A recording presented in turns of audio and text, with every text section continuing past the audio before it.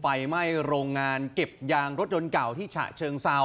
แล้วบริเวณแห่งนี้นั้นมีพื้นที่มากกว่า 30 ไร่ คุณผู้ชมดูสิฮะ โอ้ เป็นทะเลเพลิงเลยเนาะ แดงฉานไปทั่วบริเวณน่ากลัวมากค่ะแล้วควันเยอะมากนี่ ภาพมุมสูงน่ากลัวมากนะโอ้น่ากลัวจริง น่ากลัวมากครับคุณผู้ชมนี่คือพื้นที่หมู่ 9ตำบลหัวสำโรงอำเภอแปลงยาวจังหวัดฉะเชิงเซาครับ เกิดเหตุเพลิงไหม้โกดังเก็บยางรถยนต์เก่าของบริษัทแห่งหนึ่งตั้งอยู่ริมทางหลวงชนบทเมื่อช่วงเย็นวันนี้นะครับ แล้วยางรถยนต์เก่าอืมโอ้โห พอเผาปุ๊บนี่มันไปป็นต่อเลยนะชื้พงอย่างดีเลยแหละใช่ถูกต้องฮะทำให้นายยกอบตหัวสำโรง แล้วก็ตำรวจสพแปลงยาวครับ ต้องระดมรถดับเพลิงกว่า 30 คันเข้าระงับเหตุ แล้วเปลวไฟเนี่ยมันก็ลุกไหม้ยางรถบรรทุกด้วยนะฮะ ซึ่งวางเป็นกองอยู่ข้างโกดัง ในพื้นที่ 30 ไร่แห่งนี้ตลอดทั้งคืนครับ ต้องขอบคุณเจ้าหน้าที่นะฮะ เมื่อคืนนี้เจ้าหน้าที่ไม่ได้หลับไม่ได้นอนนะครับ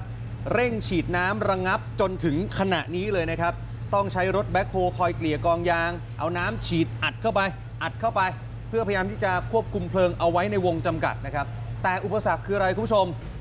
นอกเหนือจากยางรถยนต์แล้ว บริเวณรอบโกดังแห่งนี้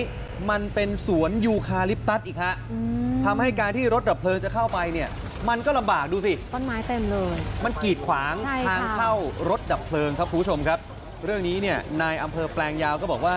เบื้องต้นทราบว่าต้นเหตุของเพลิงไหม้มาจากไฟฟ้าลัดวงจร แล้วมีสะเก็ดไฟเนี่ยตกลงมาใส่กองยางที่เป็นเชื้อเพลิงอย่างดี พอมันลุกไหม้ไปหนึ่งมันก็ 2 3 4 ลามไปเรื่อยๆนะครับ ตอนนี้ประสานหลายหน่วยงานให้เข้ามาช่วยกันครับ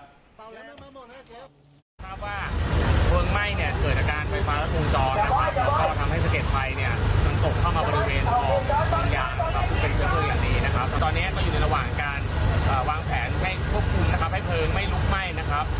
เข้ามาในเขตโรงงานนะครับ แล้วก็กำลังต้องติดตามกันต่อไปนะครับ ว่าสถานการณ์ก็พยายามควบคุมให้ดีที่สุดครับระหว่างการคือก็ต้องส่งกำลังใจให้กับเจ้าหน้าที่ทุกหน่วยงานเลยนะครับ ล่าสุดทางผู้ว่าฉะเชิงเซาครับ สั่งการให้นายอำเภอแปลงยาวแจ้งเตือนประชาชนในพื้นที่แล้วนะครับ ให้สวมใส่หน้ากากอนามัยในช่วง 2-3 วันนี้ก็เรื่องของมลพิษมลภาวะอะไรอย่างเงี้ยนะฮะแล้วก็จะประสานให้กรมมลพิษ เข้ามาตรวจสอบสภาพอากาศในช่วงวันนี้ด้วยนะฮะอืมคือไปเผายางแบบเนี้ยอืมควันดำที่มันลอยขึ้นมา อันเนี้ยไม่ดีต่อสุขภาพเรานะ ค่ะ